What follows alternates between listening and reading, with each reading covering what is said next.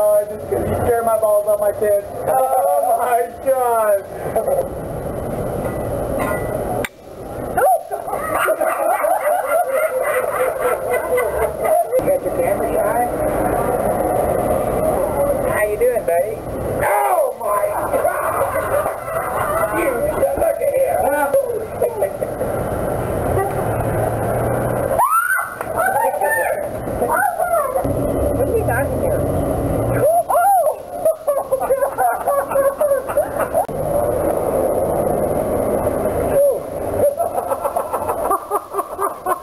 got me on that one.